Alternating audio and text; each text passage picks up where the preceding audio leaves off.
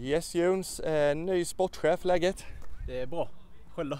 Jo det är bra, det är bra tack, det är bra tack. Eh, för, för, din del här, det har gått eh, fort här nu de senaste dygnen egentligen.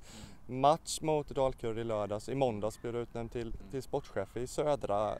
Hur är känslan kring det? Uh, ja, omtumlande kan jag väl beskriva det som bäst. Uh, det har varit några hektiska dagar.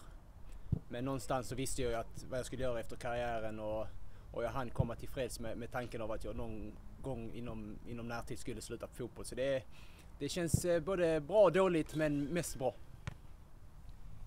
Eh, första jobbet är naturligtvis då som sportchef. Vad kan du tillföra den rollen tror du?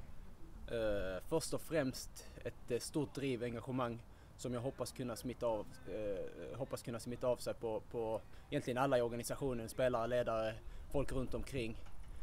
Sen har jag haft förmånen att, att spela i en del klubbar och bygga relationer med, med, med olika sportchefer, kunnat se hur de jobbar.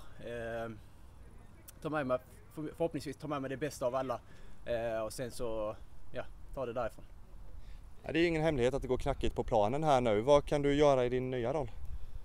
Uh, ja, det är väl att pusha, vara ett stöd för spelare, försöka ge dem verktygen som krävs för att de ska kunna leverera på planen.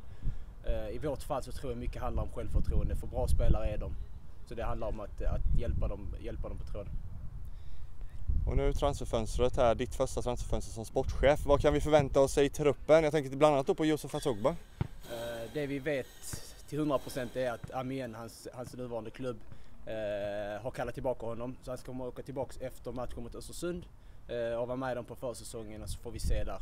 Sen så är det omöjligt att säga men vi, som jag sa på hemsidan här, att vi kommer ju söka förstärkningar på egentligen ja, alla positioner men främst i försvarsled.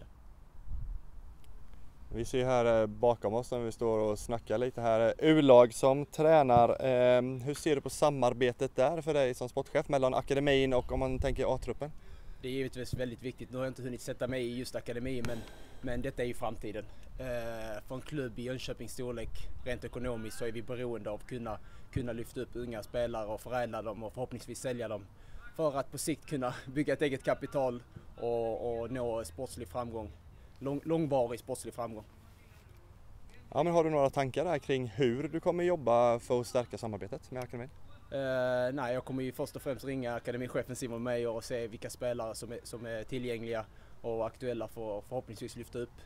Uh, sen har de ju genomgående genom året så har vi haft ungdomar uppflyttade. Uh, jag vet inte om de har någon ruljans, något schema där det är två spelare per vecka och det kommer vi förhoppningsvis fortsätta med.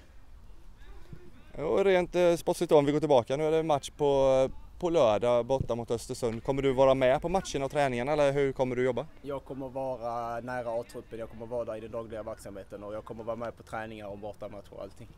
Så det är försöka, försöka minska gapet mellan, mellan styrelse och, eh, och eh, ledare, styrelse och spelare liksom. Det är det, det är det absolut viktigaste för mig.